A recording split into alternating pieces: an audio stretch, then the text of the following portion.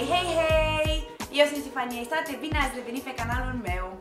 În filmulețul de astăzi vom discuta puțin despre motivul pentru care nu mă mai uit la televizor.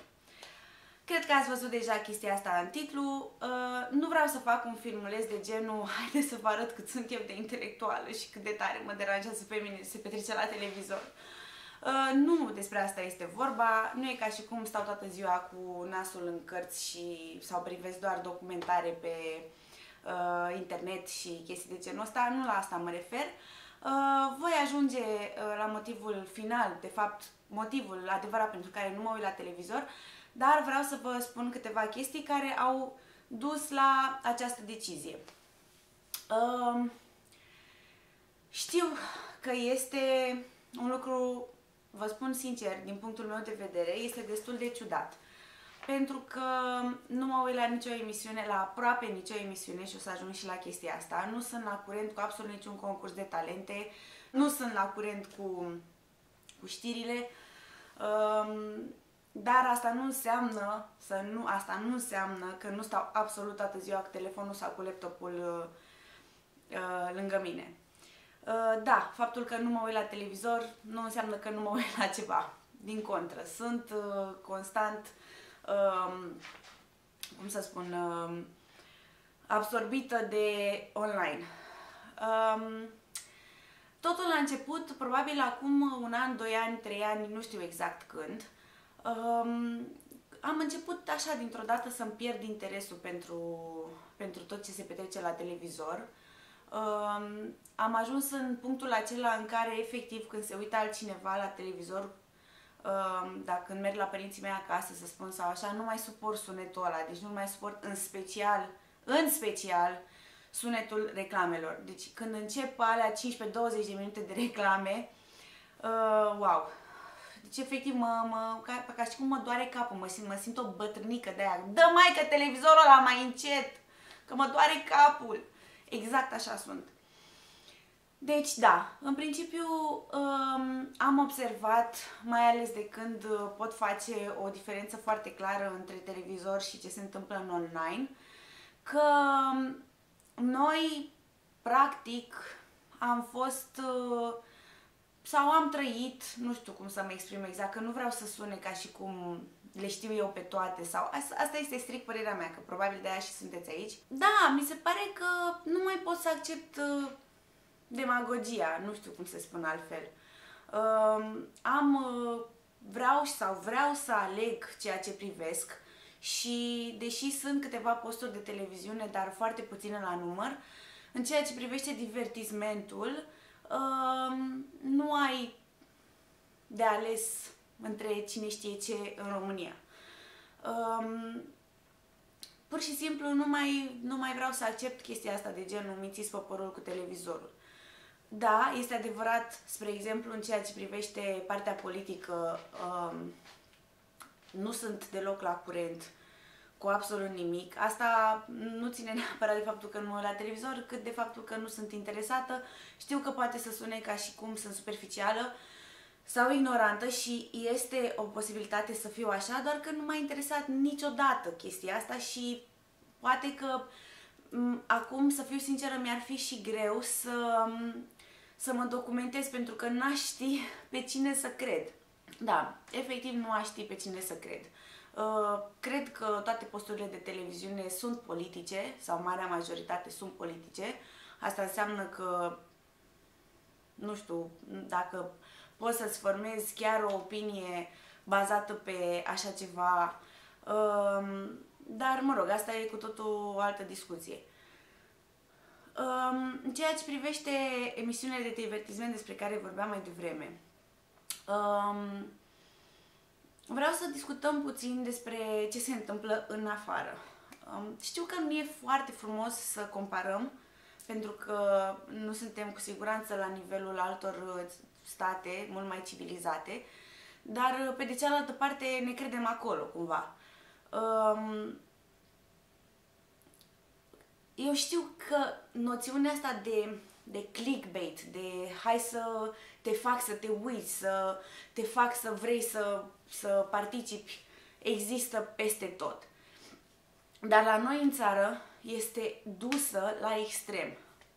Uh, în cea mai mare parte, să spunem în emisiunile de divertisment, artiștii, fie că sunt actori sau cântăreți sau whatever ce fac ei acolo, sunt invitați la, la o emisiune atunci când au lansat un proiect nou. Și sunt invitați la emisiunea respectivă să discute despre noul proiect, să uh, informeze oamenii cu privire la existența acestui proiect. Da, deci practic uh, fac publicitate și se duc așa la o grămadă de emisiuni și, mă rog, și prin multe țări și la la la.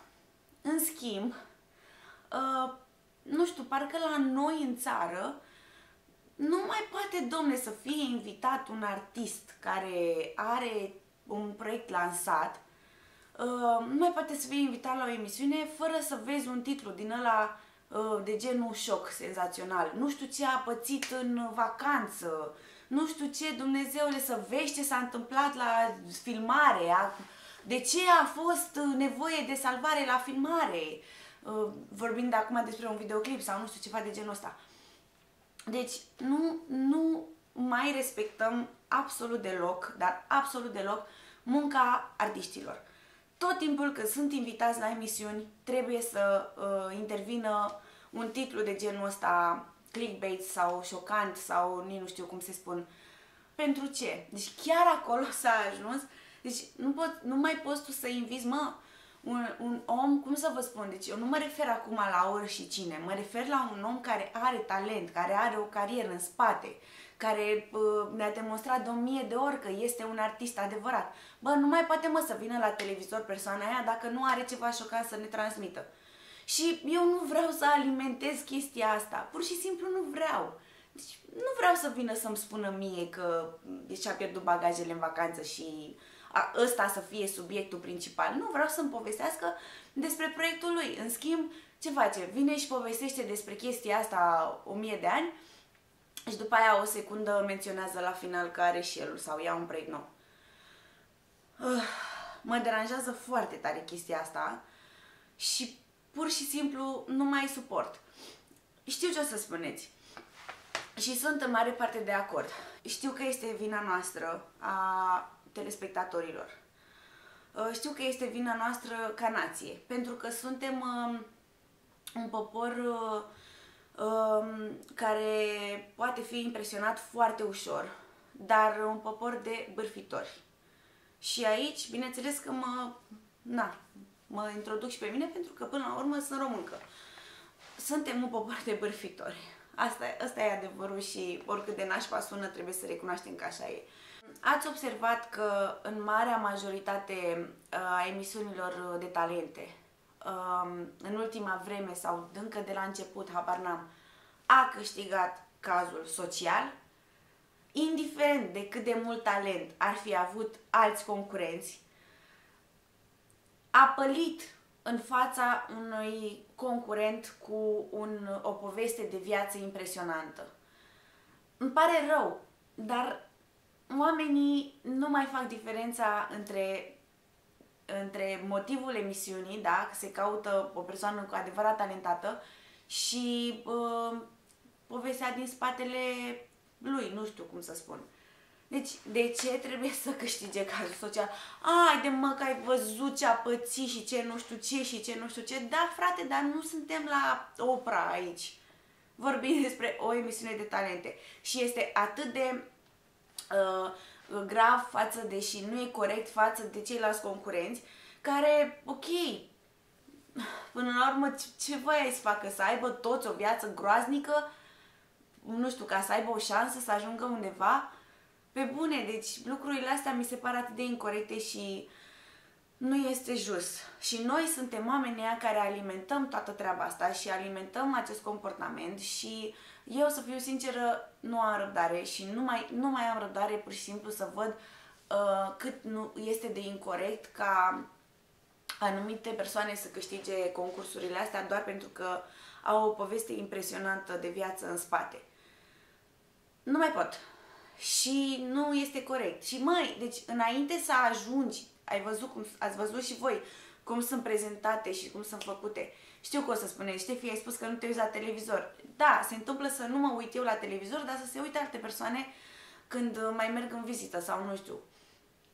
Și ați văzut că um, sunt uh, uh, prezentate cazurile oamenilor înainte, cu mult înainte să afli ce se întâmplă de fapt cu persoana respectivă, să afli ce talent are persoana respectivă sau ce vrea să-ți prezinte din acest punct de vedere wow, acolo am ajuns, păi hai să facem un concurs, cine are cea mai nașpa poveste de viață și să vedem cine câștigă atunci. Să vezi atunci lăcrimi și am zis-o intenționat. Uh, să vezi atunci uh, lacrimi și uh, durere și suspine și bârfe și ce vreți voi. Oh, oh, oh, lumină, lumină. Ok, de-aia, nu mai pot. Pur și simplu nu mai am răbdare, nu mai am putere, nu nu mi se pare corect și să fiu sinceră, motivul, motivul real pentru care nu mă mai uit la televizor este că nu îmi aduce fericire. Nu îmi face plăcere.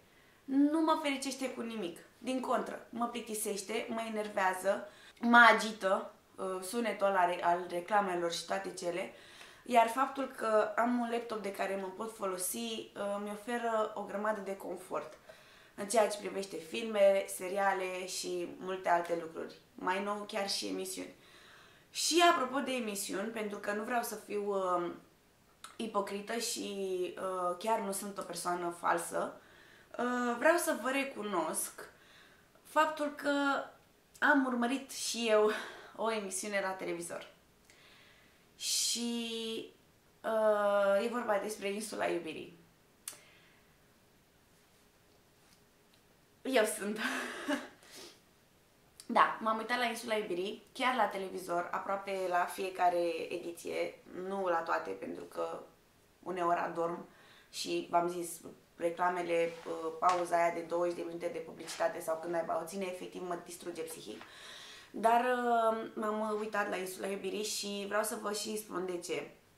Trecând peste toată faza asta cu uh, Uh, faptul că uh, judecăm uh, cuplurile și oamenii care sunt acolo și ha, ha, ha, ne mai clizim că vai ce curajos suntem noi din spatele ecranelor și cum le știm noi pe toate mai bine și vai cum cât suntem noi de deștepți și alții nu. Așa. Mi s-a părut absolut impresionant faptul că au lucrat cu o echipă de psihologi și cu o echipă de profesioniști care uh, au scris uh, acele comentarii uh, spuse de Radu uh, Vulcan, zic Radu ca și cum îl cunosc, dar nu știu. Dar, uh, da, deci, practic, uh, uh, citirea comportamentelor umane uh, mi s-a părut absolut fabuloasă. Absolut fabuloasă. Deci, atât de bine s-au exprimat profesioniștii aia, că n-a vă dați seama, psihologii, atât de atent au fost să uh, vadă dincolo de mai mult de prima mască a fiecăruia, încât, uh, da, trebuie să recunosc că am fost impresionată de, de partea asta profesionistă, să spun așa, de, de psihologia din spatele măștilor și de faptul că nu a scăpat nimeni și cred că trebuie să fii extraordinar de curajos să te duci acolo, nu doar uh, pentru că îți poți pune în pericol relația, ci și pentru că uh, vei fi demascat uh, la televizor, ca să spun așa. Nu, nu cred că scapă nimeni. Uh, da, am urmărit Insula Iubirii la televizor, dar uh, vă promit că aia a fost tot. Am deschis televizorul o dată pe săptămână cât era emisiunea. În rest, nici măcar nu prea stăm în camera în care este televizorul. În afară de momentele când filmez, pentru că aceasta este camera aceea, în rest, uh, nici măcar nu stăm pe aici. Uh, și alt lucru pe care vreau să vi-l recunosc, ca să nu credeți din nou că vreau să mint, este uh, faptul că, da, mă uit la Brava Stil. Da, mă uit la Brava Stil, dar mă uit pe YouTube, oricât de enervant ar fi că nu, nu avem muzicuță și că nu sunt emisiunile complete sau mai știu eu ce, nu mă pot abține, nu mă pot abține. Am crezut că sezonul ăsta nu o să mă mai uit, dar se pare că mi-a trebuit o singură emisiune și deja am, am luat-o de la capăt. Um, da, nu o să zic nimic în legătură cu asta mai mult. Vreau doar să recunosc, ca să știți că o fac. Da, mă uit la Brava Estil. Uh, cam asta este. În principiu, cam asta este. uh, nu suport ceea ce se întâmplă, nu, nu face plăcere și acesta este motivul cel mai important. Nu mai am răbdare, de altfel, uh, dacă vreau să văd ceva neapărat o să fac cumva să găsesc în mediul online vreo emisiune sau mai știu ce, dar uh, în principiu uh, nu mă uit la televizor. Chiar acum când vorbesc și filmez acest filmuleț, vreau să vă spun că nu m-am mai uitat la televizor de Uh, gata, știu că m-am uitat la televizor ultima dată. Ultima dată m-am uitat la televizor în seara de Revelion când uh, am hotărât să stau cu iubitul meu liniște să nu facem nimic și uh, ne-am uitat puțin la Bravo Steel. Și aia a fost. Și aia a fost și ne-am uitat un pic și la uh, uh, emisiunea de la ProTV. Că făceam, când era reclamă pe, la o chestie, încercam și noi la na, alt post de televiziune. Dar, deci de atunci și acum suntem uh, în februarie. Nu-mi face plăcere. Și dacă nu-mi face plăcere, nu mă obligă absolut nimeni să mă uit. Chiar am fost, m-am gândit foarte serios să-mi închid abonamentul și, cum să vă spun, deși știu că nu urmăresc nimic și că nu-mi trebuie televizorul ăsta, parcă mi-e greu să-mi închid abonamentul. Parcă simt că, nu știu, n-aș mai face cumva parte din societate sau că aș pierde ceva sau că, nu știu, mă gândesc în, în capul meu că se întâmplă vreodată ceva și chiar am nevoie să mă uit la televizor. Încă nu sunt pregătită să-mi închid abonamentul, dar la un moment dat chiar o voi face, pentru că nu mi-aduce niciun pic de bucurie și nu mă obligă nimeni să, să-l păstrez. Da, um, vouă ce nu vă face plăcere să faceți, dar uh, credeți cumva că este o acțiune pe care societatea în care trăim o face. Nu știu ce vă face să vă simțiți diferit față de oamenii din jurul vostru. Lăsați-mi în comentarii, chiar sunt foarte curioasă. Ca să închei, uh, la mine în casă se află un singur televizor. Nu am televizor în dormitor, nici nu-mi doresc să am. Vă spun că este o eliberare completă. Um, scuze, aveam înainte, dar uh, am scăpat de el foarte ușor. Uh, știu că sunt oameni care au mai multe televizoare sau au câte un televizor în fiecare cameră. Nu vreau să judec pe nimeni pentru că v-am zis și eu sunt lipită de telefon și de laptop. Dar uh, cam asta încheie uh, motivul pentru care nu mă uit aproape deloc la televizor. Vă mulțumesc foarte, foarte, foarte mult pentru atenție. Ne vedem și pe celelalte rețele de socializare. Nu uitați, nu uitați să dați un mare like și un mare, mare subscribe.